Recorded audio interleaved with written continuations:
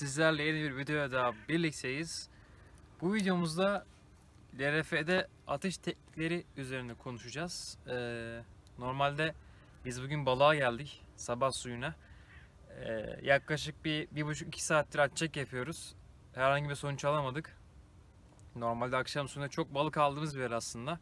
Ama sabah suyu nedense çok fazla e, verim elde edemedik sabah suyunda. Bize de dedik ki bugün değerlendirelim. Sizin için böyle bir video yapalım. Söylemiş olduğum gibi atış teknikleri üzerine konuşacağız. Ne kadar uzağa saatimizi atabiliriz, hangi yöntemlerle. Bunun üzerine e, inşallah işte böyle güzel bir video yapacağız. E, o zaman isterseniz öncelikle birinci maddeden başlayalım. Peki birinci madde e, en önemli madde olsun bence o zaman. En önemli E, madde yani olsun. Tamam. Uzağa atabilmek için en önemli ve birinci madde sence nedir? Tabii ki kullandığınız yemin gramajıdır. Neye göre Ee, gramajı? Şimdi her LRF kamışının kendi atar değeri var. Çoğu arkadaş şunu biliyordur zaten. Mesela benim elimdeki Okuma Dead Ranger kamışının atar değeri 0.7 gram. Bu demek oluyor ki bu, Bu kamış 0.7 gram gram atarlı. aralığındaki evet 0.7 gram aralığındaki ağırlıkları atabiliyor demek oluyor. Tabi bu 7 gramın üstüne çıkarsanız da kamışı deforme edebilirsiniz. Bunu öncelikle belirtelim ki arkadaşlar dikkatli olsunlar. Mesela 0.7 gram atarlı kamışımın üzerine mesela 8 gram bir ağırlık atmaya kalkarsam ben e, bu kamışı çok fazla zorlayabilir ve Kırabilir kırabilir mi? Kırabilir evet atarken. E, peki en ideal ağırlık nedir? Daha uzağa erişmek için.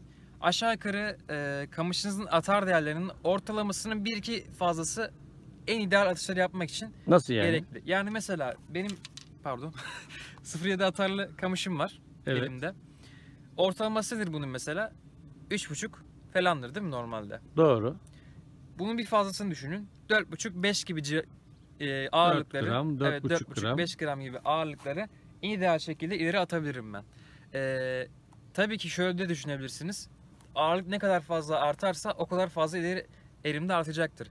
Ama bazen e, böyle bir kamışta mesela 6 gramlık bir ağırlığı atarken çekinebiliyorsunuz. Yani normalde 3-4 gramlık ağırlığı attığınız gibi kolay bir şekilde savuramıyorsunuz. Bu yüzden de atış eriminiz düşüyor. O yüzden dediğimiz gibi ortalama en ideal olacaktır. 4,5-5 gram gibi mesela benim benim kamışım için. Şimdi Tabii. mesela e, şu anda senin e, okuma Dead Ranger kamışın e, 0.7 gram mıydı atarı? Evet 0,7 gram. 0.7 gram. Şimdi 0.7 gramsa bununla en ideal atış o zaman 3.5 gram 4 gram civarında en iyi- ideal Tabii, atışı evet. sağlayabiliriz. Peki mesela şu anda senin e, kamışındaki e, sahte ve şeyin ağırlığı ne kadar? Şu anda benim ciketimin ağırlığı 1,5 gram. Şöyle göstereyim. Üzerinde de fişap silikonum var. Ee, silikonda işte yarım gram olsa yani 2 gramlık iki bir gramlık- ağırlık yani şu 2 anda. bu. gramlık bir ağırlık var aşağı yukarı. Şimdi bu 2 gramlık ağırlık e, bizim biraz önce söylediğimiz atar ağırlığından daha düşük, Düşük aralığından. evet. Dolayısıyla bu daha biraz daha kısa mesafeye atmamızı sağlar. Doğru mu? Tabii. Hatta deneyelim istiyorsanız. Karşılaştıralım. Önce bunu atalım sonra daha ağır bir ağırlık kullanalım. Bakalım hangisi daha fazla uzağa gidecek. Peki. Tamam atıyorum. 2 gram var şu an elimizde. Kamışımızın atar değeri 0,7 gram. Atıyorum. Bakın çok fazla uzağa gitmedi zaten. Ya orası ne kadar? Aşağı yukarı 10-12 metre civarında bir yere gitti. Evet zaten şöyle bir durum var. Ee, bizim fazla balığı tutmak için ihtiyaç duyduğumuz mesafe çok uzun değil. Ee, tatlı su levreği kıyıda zaten saldırıyor. Ama tabii ki başka balıklarda bu durum değişebiliyor. O yüzden ata, atış erimimizi arttırmamız gerekebiliyor. Şimdi çekeceğim bir farklı bir şey takalım. Hiç aksiyon falan vermiyorum. Dümdüz çekiyorum. Belki balık gelir aksiyon verseydin. Boş ver. Peki. Evet. Şimdi 2 kaç gram? ağırlıktı. Şimdi şimdi de 3,5-4 gramlık bir ağırlık çakacağız aşağı yukarı. Şurada bizim şey vardı meşhur katil. Tantayı dene istersen. Tantay mı? Evet. Tamam. Tantayı takalım. Fişap tantayı Şap deneyelim. tantay deneyelim. Evet bu aşağı yukarı 3,5-4 gram civarı. Zaten Orada jiget 3 gram galiba. evet kafadan anlaşılıyor zaten büyük kafa olduğundan dolayı. 1 grama yakında silikon olsa yani 4 grama yakın şu anda abi. Evet. Şimdi bunu atmaya deneyelim bakalım.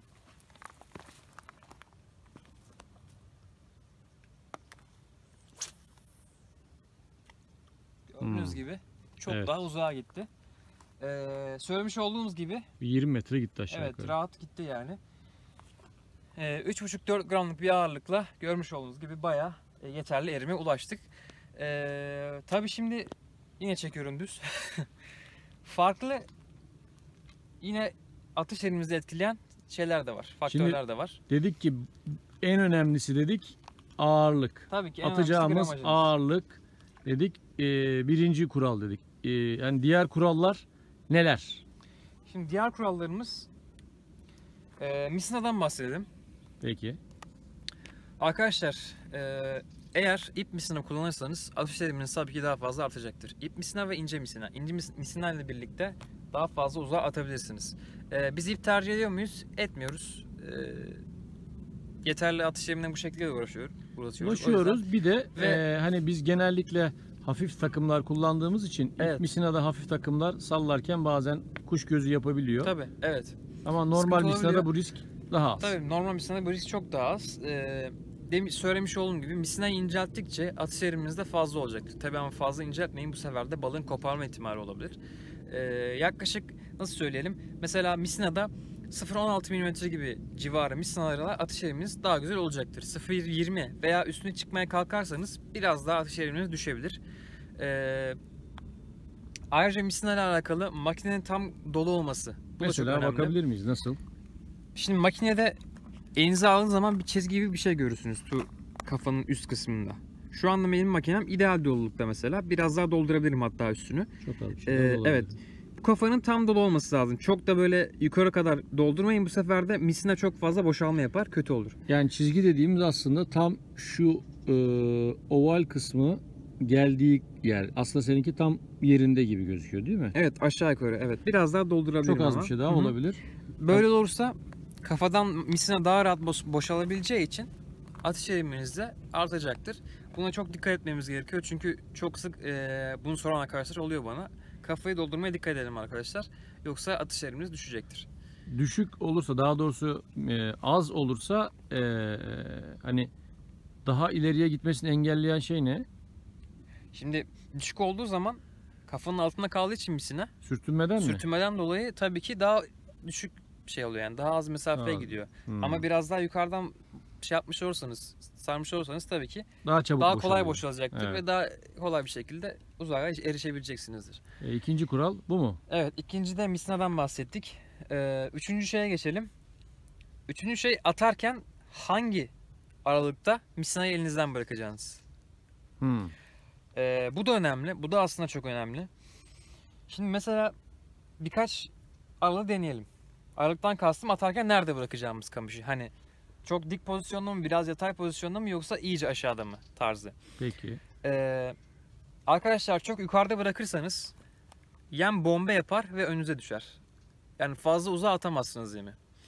Çok aşağıda bırakır- bırakırsanız da bu sefer de yine aynı şekilde önünüze, önünüze düşer. Direkt çat diye suya gömülür. Ama eğer aşağı yukarı 45 derecelik bir açıyla yani tam ortada bir yerde kamışta e, misinayı bırakırsanız elinden atarken o zaman çok güzel bir şekilde temiz bir şekilde böyle istediğiniz mesafeye atabilirsiniz. Şimdi 3 durumu da örnekleyeceğim ben atarken çok yukarıda bıraktım.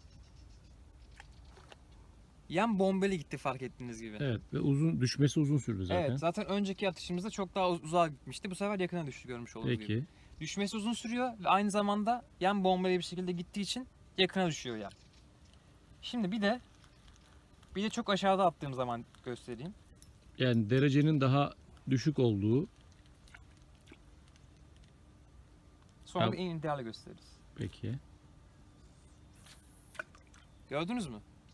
Evet. Çat diye yapıştı suya. Bu sefer evet çok daha hızlı düştü. Hızlı düştü ama çok Ve- önümüze düştü. Önümüze düştü. Evet. Çünkü açısı düşüktü. Evet. Şimdi şimdi en ideal açı yani ortada bir yerde aşağı yukarı 45 derece söylemiş 50, olduğumuz 45 gibi. derece. Öyle bir şey aynen. Ee, bakalım o zaman nasıl atış mesafesi değişiyor. Görmüş olduğunuz gibi çok daha ileri gitti. Evet. Videoyu dikkatlice izlerseniz zaten misleyi nere- nerelerde bıraktığımı görürsünüz ve hangi atışı nasıl yapabileceğinizi anlarsınız. Şimdi tabi eğer e, çok fazla uzağa atmanıza gerek yoksa hani bizim kullanmış az önce göstermiş olduğum bomba atışları falan da deneyebilirsiniz. O size kalmış bir şey. Ama tabii ki e, en ideal atış söylemiş olduğumuz gibi 45 derece aşağı yukarı e, iyi olacaktır. Bu da üçüncü madde ve yine çok önemli bir maddeydi. Evet benim aklıma başka şu an bir şey gelmiyor ama senin geliyor mu? Ha, geliyor benim aklıma. Evet ne gibi? Ee, mesela LRF kamışları genellikle ee, parçalı kamışlar. Yani mesela seninkinde olduğu gibi iki parçalı Hah, kamışlar. Evet şu an aklıma geldi. benim de. zaman devamını hemen, sen hemen getir. hatırlatıyorum. Ee, arkadaşlar takarken kamışlarımızın parçalarını birleştirirken yüzüklerin aynı doğrultuda olmasına çok dikkat ediyoruz.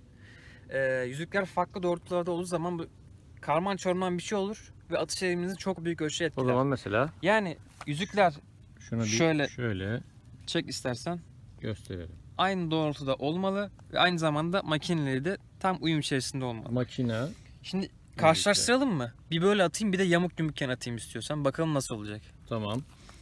Şimdi şu an düz kamışlarım. Kamışım, yüzükler hepsi. Normal atışım yapıyorum ben. İleride görmüş olduğunuz gibi. Yine aşağı yukarı aynı mesafelere Evet, atıyorsun. çekiyorum. Hafif aksiyon vereyim belki balık.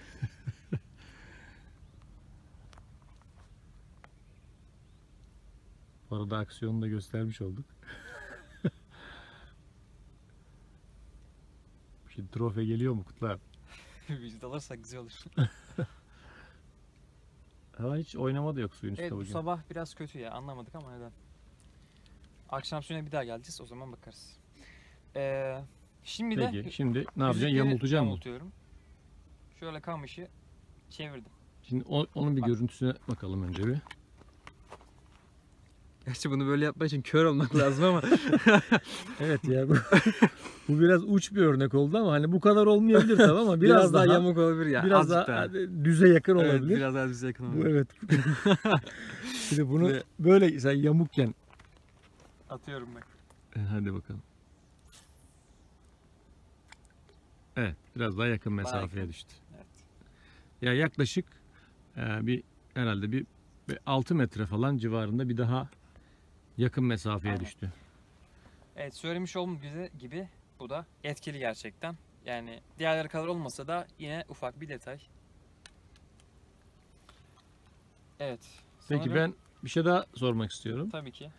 Ee, atış yaparken kol gücü önemli midir? Yani kol Evet. gücünü mü kullanmak lazım yoksa kamışın esnekliğiyle birlikte faydalanarak daha iyi bir atış yapabilir miyiz? Yani çok güzel bir noktaya değindin. Bundan mutlaka bahsetmemiz lazım. Çünkü bazen görüyorum kamışı abanan çok fazla abanan arkadaşlar var. Yani, Yani uzağa kol- koluyla yani. atmak Aynen. yani. Koluyla atıyor adam yani. Ya bildiğin. şöyle hani bir gerilerek bir göstersen şöyle ge- geriye doğru kamışın hani şey yapmarak Ben- atmasan da şöyle hani bir göstersene. Atayım çünkü o sefer ivmeyi almam uçarım aşağı. Peki. Ben böyle atışları hiç tercih etmiyorum. Hatta bu şekildeki atışlarla kamışa zarar bile verebilirsiniz arkadaşlar. O yüzden böyle yapmayın. Mesela alıyor adam böyle. Böyle atıyor. Yani Ben düştüğü noktaya çok bakıyorum bu arada. mesela yani. Düştüğü yine. noktada yani e, az öncekinden hatta daha yakın yani. Evet. Adam kamışa yükleniyor. Bu sefer atışı daha yakına oluyor. Atamıyor yani. Olmuyor. Ya kol gücünü kullanıyor Evet. aslında. Ona çok dikkat etmemiz lazım. Yani kamışa çok fazla abonırsak söylemiş olduğum gibi kamışa zarar da verebiliriz. Öyle atışlar yerine az önceki atışlar yerine Şöyle. kamışın esnekliğini kullanarak çapraz atışlar yapabilirsiniz. Biraz daha ne bileyim Biraz atışlar biraz şeye gider misin? Biraz Geri geri gider misin? Ha? Tabii. Daha iyi görmek için kamışın esnekliğini. Mesela bakın. Çok basit. Söylemiş olduğumuz gibi doğru açıda ve kamış esnekliğini kullanarak atacağız. Oho. Bak. Çok daha uzağa kadar. gitti. Şimdi söylemiş olduğumuz gibi Ya bu aynı zamanda e, hani at çek yaparken yorulmamanızı da sağlıyor Tabii, galiba evet. değil mi? Tabii çok daha e, rahat bir şekilde açık yaparsınız. Çünkü öteki türlü hem kendinizi yorarsınız, hem kamışınıza zarar verebilirsiniz, hem istediğiniz mesafeye ulaşamazsınız. Yani bir sürü ardından böyle e, negatif şeyler geliyor. O yüzden e, kamışın esnekliğini ve doğru açıyı kullanın. Bu şekilde yeterli erime ulaşırsınız. Evet. Evet birçok faktörden bahsettik sanırım 4-5 tane şeyden. Bu kuralları üzerinden tek tek hızlıca geçebilir miyiz? Tabii hemen geçelim. Birinci olarak e, atacağınız yemin gramajından bahsettik. Kamışınızın ortalama atarının 1-2 gram üstünü tercih edin dedik. Mesela 0.7 atarlı bir kamışta 3.5-4 gramla çok rahat istediğiniz mesafeye ulaşabilirsiniz. Bundan bahsettik. İkinci olarak misinamızdan bahsettik. Misinayı ne kadar inceltirseniz atış eriminizin o kadar fazla olacağından bahsettik. Yine ip misinara da aynı şekilde erimin e, ileriye gidebileceğinden bahsettik. E, Tabi kafanın da dolu bırakmayı unutmamaktan da bahsettik. E, üçüncü olarak neyden bahsettik? üçüncü olarak Üçüncü atış. Atış değil mi? evet. Atış mesafesi şey e, açımızdan bahsettik. Evet. E, çok yukarıda atarsak kamışı e, yemimizin bomba yapacağını ve istediğimiz mesafeye ulaşamayacağımızdan bahsettik. Eğer e, çok aşağıda bırakırsak aynı şekilde yemin direkt suya çakılacağını söyledik. E, bizim en, için en değerli açının 45 derece, 50 derece yani ortada bırakmak olduğunu böylece istediğimiz mesafeye çok rahat bir şekilde erişebileceğimizi söyledik. E, aynı şekilde yüzüklerin doğru şekilde yerleştirilmesinden bahsettik. Yani yamuk yumuk olmasından değil de düz bir şekilde makineyle Makineyle doğru olmasından bahsettik. Evet. Ee, kamışı çok fazla abanmamanızı söyledik son olarak. Ee, kamışın esnekliğini ve doğru açıyı kullanarak rahat bir şekilde çok güzel atışlar yapabildiğinizi Kendimizi yormadan. evet söylemiş olduk. Ee, bu şekilde arkadaşlar tabii ki daha fazla değişik faktörler bulunabilir. Ee, eğer siz de farklı yöntemleriniz varsa diyeyim öyle diyeyim e, yorumlarda belirtebilirsiniz. Böylece hepimiz güzelce böyle bir e, şey olmuş olur. Bilgi, bilgilendirme olmuş olur. Tabii bu atış tekniklerine hani zaman içerisinde biraz daha hakim olunuyor galiba değil mi? Tabii evet. Zaten bir süre sonra zaten beyniniz artık o kadar alışıyor ki çat atıyorsunuz. Misal yani. Ee, genellikle kamışı şu şekilde atarlar. Bir şey daha göstermek istiyorum. Hani arkaya alıp atarlar kamışı genellikle. Arkaya doğru şey yaparlar. Hı hı. Bir süre sonra artık o kadar alışıyorsunuz ki çaprazdan, yandan, oradan, buradan tekel her şeyi yapıyorsunuz yani. Hani şöyle yandan atabiliyorsun istersen mesela. Ondan sonra nasıl söyleyeyim? Tekel demiştin. Tekel nasıl Tekel atıyorsun? atabiliyorsun. Tekel atabiliyorsun. Çok yapışıyor böyle ama suya. Hı hı. Atıyorsun yani. Ee, yani bir süre sonra zaten atış tekniklerine çok rahat hakim olursunuz ve böylelikle de güzel, verimli avlar gerçekleştirirsiniz inşallah. Bu şekilde Peki. yine böyle sizler için bilgilendirme videosu oldu. Bundan sonra böyle son gaz videolara devam edeceğiz. Ee, istediğiniz videolar varsa da yorumlarda belirtirsiniz. Ayrıca şunu belirtmek istiyorum. Lütfen kanala abone olmayı ve videoları beğenmeyi unutmayın. Ee, şu anda bizim videolarımızı, videolarımızı izleyen kitlemizin %85'i bize abone değil. yani lütfen rica ediyorum. Çünkü sizler için uğraşıyoruz. Sizler için bir şeyler yapmaya çalışıyoruz. Abone olursanız ve beğen tuşuna basarsanız çok seviniriz. Ee, böyle videonun daha sonuna geldik inşallah. Bir sonraki videomuzda görüşmek üzere.